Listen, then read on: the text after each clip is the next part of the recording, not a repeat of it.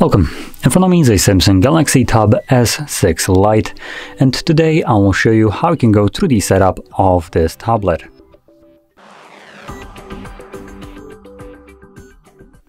So, to get started, once you boot it up, you should be presented with the same screen as, well, I have visible right now. And all you need to do here is find your desired language. So I do want to use English, not Polish, so there we go, English click on OK, and then we can select Start. Now, I'll mention before I go any further, uh, this setup will vary just a little bit from uh, what you might experience when you're uh, booting up this device for the very first time, straight out of the box that was, well, not used before whatsoever. So when your device is completely brand new, uh, it will be a little bit different than what I'll, what I'll have, but I'll point out those differences once I get to them. Anyway, let's go straight with it. So uh, for your review uh, end user license agreement, obviously no device can go without uh, agreement licenses and also privacy policies and all those stuff. So you can tap right here on details to, to read exactly what you're agreeing to. From there, just select it and then can go to the next page by selecting agree. Then have choose a Wi-Fi network and that is where the first difference will be between uh, my device and a completely brand new one. So typically, or in the most normal circumstances when your device is new, you don't have the option to skip Wi-Fi network for some absolutely stupid reason. There is not a single definition or like why I need to, or explanation more precisely, why I need to connect to it, but you just need to. And this is only when the device is brand new, which is uh, just even more baffling because you would usually see this when the device has been reset and becomes locked, but here it's the other way around. So uh, you will need to connect to network, and once you do, it will tell you that you need to restart the device. So I, I honestly have no words for that, it, it's just so stupid. But once you reset that device, uh, like I have, and you're going through the setup for the second time as an example, you can skip connecting to Wi-Fi and you don't need to reboot your device because from the beginning it was completely redundant. Now, because I didn't connect to network, uh, I do have this option, which for everyone who has connected network won't see this. It's the date and time settings, which always show up when tablet has no, or any device, Android device, has no internet connection. Now moving on, we have Google services. So we have location, scanning, and sending user and diagnostic data. Now, if you find some of these a little bit intrusive, like sending user diagnostic data, you can turn that off and then go to the bottom, select accept, and you can move over to the next page, which will allow you to select a protection for your device. There's a couple different ways you can protect it. So we have PIN, pattern, or password as the default ones, and in addition, you can also add a face recognition.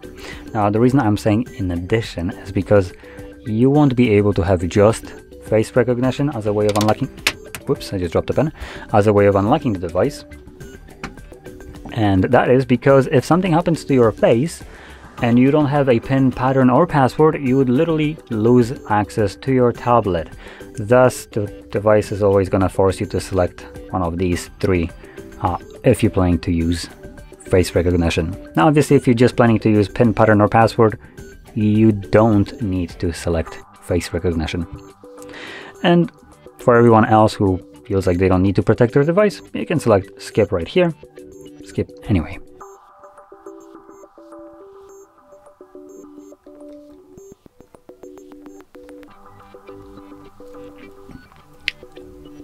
So here we have a bunch of uh, Samsung crap.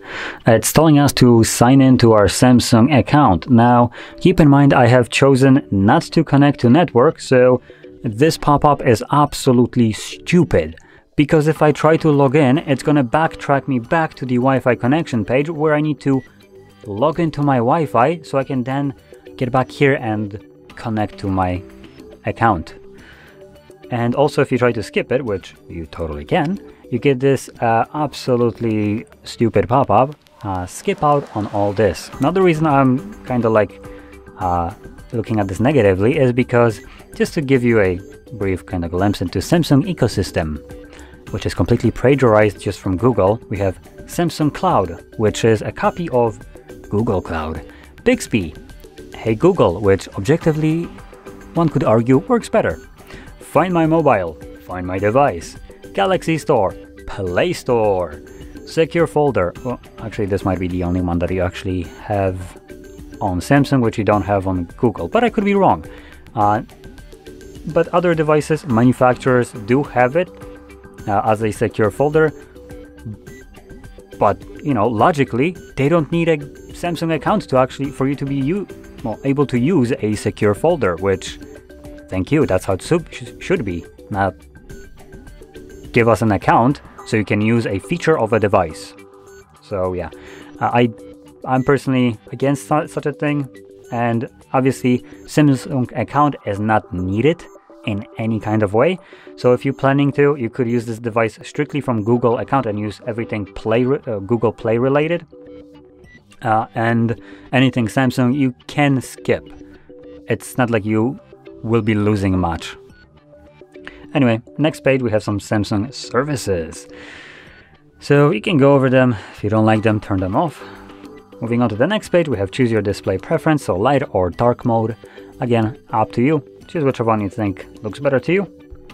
And then you're all set up, so let's select finish. And here is our home screen. So there we go. That's basically the entire setup. So if you found this video helpful, don't forget to hit like, subscribe, and thanks for watching.